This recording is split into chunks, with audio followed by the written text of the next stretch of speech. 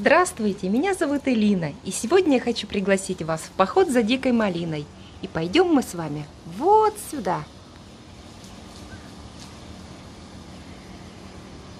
Смотрите, как это близко от жилых домов. Вот видите, сквозь зелень просвечивают дома. И вот она малинка. О, какая малинка, крупненькая.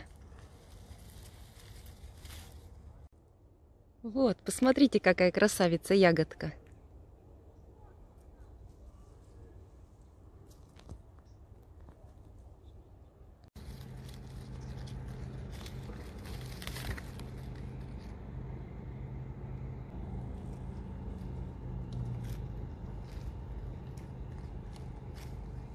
Единственная неприятность. Крапивы здесь немерено. Поэтому собираю малину я в мужниной рубашке с длинным рукавом. Правда, кисти рук это совсем не спасает, но оно того стоит. Посмотрите, ради этого стоит потерпеть крапиву. Объем моей корзинки 3,2 литра, а площадь дикого малинника примерно 10 квадратных метров. И вот это я собрала в одиночку примерно за полчаса. Вот пришла из малинника с вот таким уловом. Морда красная. Вот, посмотрите на мой улов.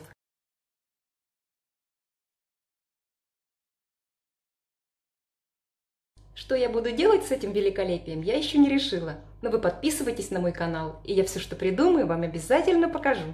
А теперь я хочу показать, с помощью какой емкости я облегчаю себе сбор малины, ну и любой другой ягоды. Я взяла пластиковую бутылку, обрезала у нее верх, проделала два отверстия, продела в них веревочку. И вот эту веревочку я надеваю на шею, обе руки остаются свободными для сбора ягод. Ягоды помещаю вот сюда. Сейчас хочется посетовать на то, что еще пять лет тому назад мы вдвоем с мужем примерно на этом же участке набирали огромное 10-литровое ведро малины за час вдвоем. А сейчас вокруг строится много новостроек, копают котлованы, и все, что вырыли, всю землю, всю глину сбрасывают в этот овраг, где растет малина. И, к сожалению, с каждым годом ее становится меньше и меньше. И скоро, вероятно, не будет совсем. Очень жаль.